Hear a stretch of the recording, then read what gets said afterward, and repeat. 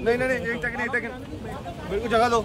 इतनी आगे तो मत दो यार। चलो चलो चलो यार एक तो गाड़ी इब्राहिम।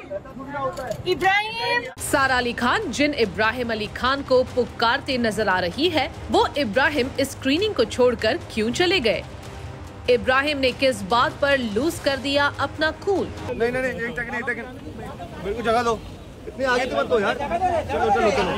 यार एक तो वेल वेल ये है सारा अली खान और Vicky Kaushal starrer recently released film Zara Hatke Zara बचके की एक खास स्क्रीनिंग के सबसे बड़े हाइलाइट्स जहाँ एक थिएटर में अपनी फैमिली को फ़िल्म दिखाने लेकर गई थी Sara Ali Khan. Well well, story में आगे हम आपको बताएँगे इब्राहिम क्यों हुए नाराज़ और सारा ने अपने यंग ब्रदर को प्यार से कैसे मनाया।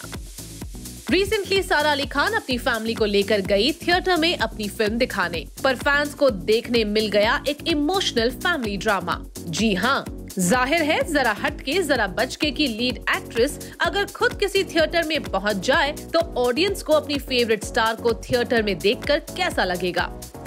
और लगता है ऐसा ही कुछ हुआ जब सारा लेकर गई इब्राहिम को अपनी फ़िल्म दिखाने। और फिर जब सारा फैंस और पपराजी के बीच घिर गई तो इब्राहिम को वहाँ रहना शायद ठीक नहीं लगा। और उन्होंने फ़िल्म देखने के बाद बाहर जाना ही ठीक समझा। तो बस इब्राहिम का भीड़ को चीर कर निकलने का वीडियो भी वायरल हो गया, जिसमें इब्राहिम कहते नज़र आ रहे हैं, मुझे जगह दो। हीरोइन वहाँ पर खड़ी है। नहीं नहीं नहीं, एक सेकंड एक जगह दो।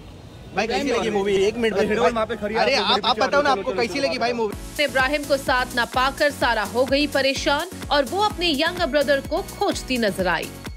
और फिर देखिए इब्राहिम के नज़र आने पर उन्हें कितना सुकून मिला। इस पर जिस बात ने फैंस का दिल जीत लिया वो बात थी सारा की आखिर में अपने भाई के लिए कही हुई ये बात।